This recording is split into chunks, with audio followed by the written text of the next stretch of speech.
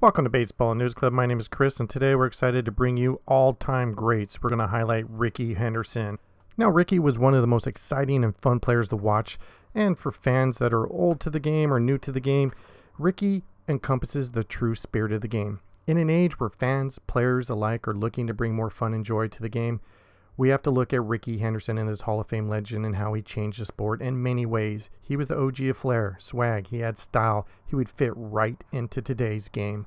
Now, we could highlight all his stats and accomplishments World Series, MVPs, all time leader, and stolen bases and runs. He was an extremely accomplished player. But what we want to highlight is he was the king of swag. He was doing bat flips before they were even popular, and he doesn't do bat flips where it almost kills an umpire player. He did it with style, popping his shirt running around the bases with a little attitude, catching the ball a certain way. Now, it might have rubbed some players or teams the wrong way, but if you hit him, he's just going to get on base and steal and then score. So, what Rickey did is he brought a lot of flair to the game.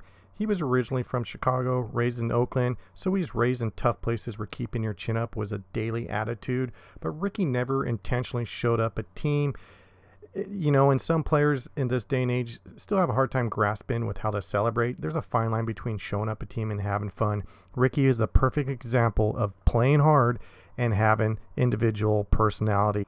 Now, one argument that I'm tired of hearing is the traditionalist versus modern baseball.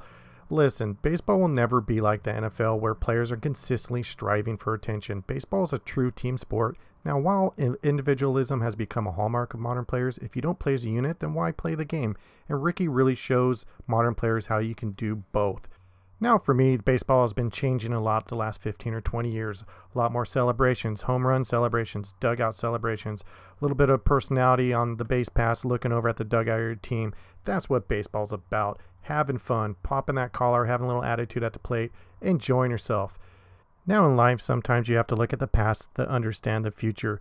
And if you study Rickey Henderson and his career, you'll see one thing a player who was a full on team player, played his heart out on the field, and also had an amazing personality. And you see it in the last 15 or 20 years in baseball. You see teams having a lot more fun in the dugout, doing different types of celebrations, and it's absolutely, positively great for the game, and I love watching it. And Rickey is one person that we have to thank. Now, if I could give a takeaway for Rickey Henderson, is his on base percentage career 401. Rickey didn't care if he got on by an error, a walk, hit by pitch. He just wanted to get on to the bases so he can help his team win. That is Rickey. And then look at how Little League and softball is played nowadays. Kids love the game. They celebrate in the dugout, they have cheers. That's what the game's about. And you have to ask yourself, when was the last time you saw a softball or little league game? Why should the fun be eliminated once you become a professional player? Doesn't make sense. So I'm very happy to see players like Andrew McCutchen, the Washington Nationals, how they celebrate in the dugout during the playoffs, and then other players have been around for the last six or seven years like Bryce Harper. The game is designed to have fun, and the fans and players absolutely love it. After all, who wants to play a sport that's just serious and not fun? Name a game or a board game for that matter, not designed for enjoyment. So go be like Rickey. Go find the Rickey in you. Go have fun. Be yourself. Be like Rickey. Design a walk up song.